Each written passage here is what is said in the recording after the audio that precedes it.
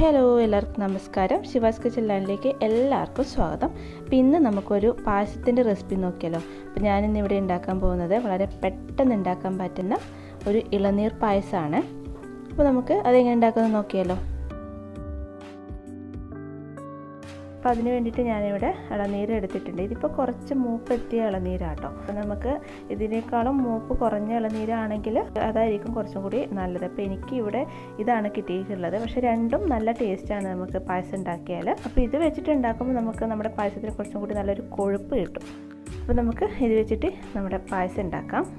അപ്പോൾ ആദ്യം തന്നെ ഞാൻ ഇതിന് കുറച്ചെടുത്തിട്ട് നമ്മുടെ മിക്സിയുടെ ജാറിലേക്ക് ഇട്ട് കൊടുത്തിട്ട് ഒന്ന് ക്രഷ് ചെയ്തെടുക്കുന്നുണ്ട്.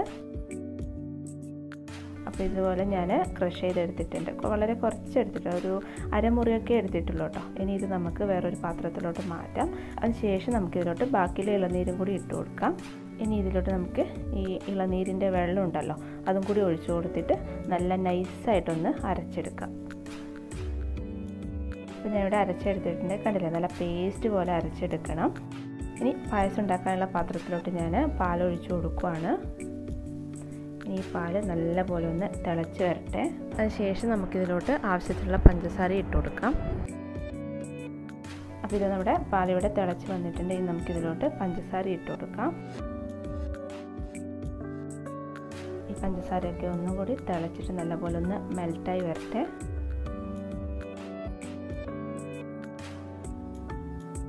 അപ്പോൾ ഇവിടെ നമ്മുടെ പഞ്ചസാരയൊക്കെ നല്ലപോലെ മെൽറ്റായി വന്നിട്ടുണ്ട്. ഇനി നമുക്കിതിലോട്ട് നമ്മൾ നേരത്തെ അരച്ച് വെച്ച ഇളനീരുണ്ടല്ലോ അത് ചേർത്ത് കൊടുക്കാം.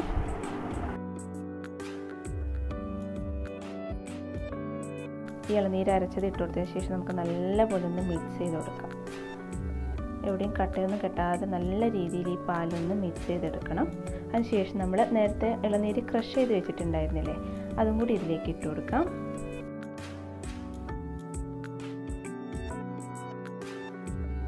വീണ്ടും എല്ലാം കൂടി നമുക്ക് നന്നായിട്ടൊന്ന് മിക്സ് ചെയ്യാം. ഇനി ഇത് നന്നായിട്ട് തിളച്ച് കുറുകി വരട്ടെ. നമ്മുടെ പായസമൊക്കെ ഇവിടെ നന്നായിട്ട് തിളച്ച് കുറുകാൻ തുടങ്ങിയിട്ടുണ്ട്. ഇനി നമുക്കിതിലോട്ട് മധുരത്തിൽ നിന്ന് ബാലൻസ് ചെയ്യാനായിട്ട് കുറച്ച് ഉപ്പും കൂടി ചേർത്ത് കൊടുക്കാം. അപ്പോൾ ഇവിടെ മധുരമൊക്കെ ഈ ഒരു അളവ് മതി കേട്ടോ.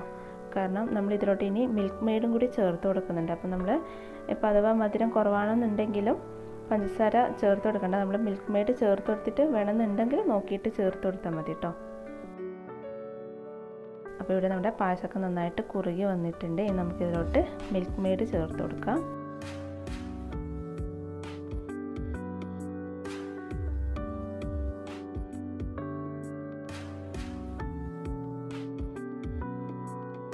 ഒന്നുകൂടി നമുക്കൊന്ന് തിളപ്പിച്ചെടുക്കാം. അപ്പോൾ നമ്മുടെ പായസം ഇവിടെ റെഡി ആയിട്ടുണ്ടെങ്കിൽ നമുക്കിതിലോട്ട് തേങ്ങാപ്പാലും കൂടി ചേർത്ത് കൊടുക്കാം. ഇത് ഓപ്ഷനിലാണ് വേണമെന്നുണ്ടെങ്കിൽ ചേർത്ത് കൊടുത്താൽ മതി കേട്ടോ. തേങ്ങാപ്പാലും കൂടി ഒന്ന് ചേർത്ത് കൊടുക്കുകയാണെങ്കിൽ കുറച്ചും കൂടി ടേസ്റ്റാണ് അപ്പോൾ നിങ്ങൾക്ക് നോക്കിയിട്ട് വേണമെന്നുണ്ടെങ്കിൽ മാത്രം ചേർത്ത് കൊടുത്താൽ മതി.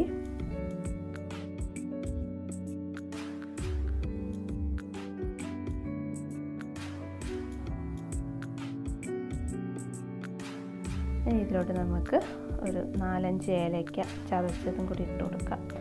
അപ്പം ഞാനിവിടെ ജസ്റ്റ് ഒന്ന് ചതച്ചിടുന്നത് മാത്രമേ ഉള്ളൂ. പൊടിച്ചിടുന്നൊന്നുമില്ല. കാരണം ഈ ഇളനീർ പായസത്തിന് നമുക്ക് അധികം ഏലക്കേന്റെ ആ ഒരു ടേസ്റ്റിന്റെ ആവശ്യമൊന്നുമില്ല കേട്ടോ. ജസ്റ്റ് ഒന്ന് ചതച്ചിട്ട് കൊടുത്താൽ മതി. അതും ലാസ്റ്റ് ഇട്ട് കൊടുത്താലും മതിയാവും.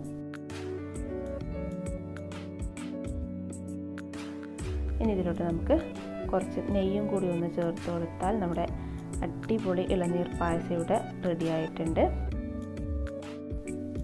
കണ്ടില്ലേ നല്ല ടേസ്റ്റാണ് കഴിക്കാൻ കേട്ടോ. നമ്മുടെ ഇളനീരൊക്കെ നമ്മൾ കുറച്ച് ക്രഷ് ചെയ്ത് ഇട്ട് കൊടുത്തോണ്ട് തന്നെ ഈ പായസം കുടിക്കുന്ന സമയത്ത് നമുക്ക് ഇടയ്ക്കിടയ്ക്ക് കടിക്കാനൊക്കെ കിട്ടും കേട്ടോ. അപ്പോൾ നല്ല ടേസ്റ്റാണ് ഇനി ഇത് നമുക്ക് ഫ്ലെയിം ഓഫ് ചെയ്ത് കൊടുക്കാം. എന്നിട്ട് നന്നായിട്ട് തണിഞ്ഞതിന് ശേഷം സെർവ് ചെയ്യാം. അപ്പോൾ എല്ലാവരും ഈ ഒരു ഇളനീർ പായസം ഉണ്ടാക്കി നോക്കുമല്ലോ നല്ല ടേസ്റ്റാണ് അതുപോലെ തന്നെ വളരെ പെട്ടെന്ന് ഉണ്ടാക്കിയെടുക്കാനും പറ്റും. അപ്പോൾ എല്ലാവരും തീർച്ചയായിട്ടും ട്രൈ ചെയ്ത് നോക്കണേ.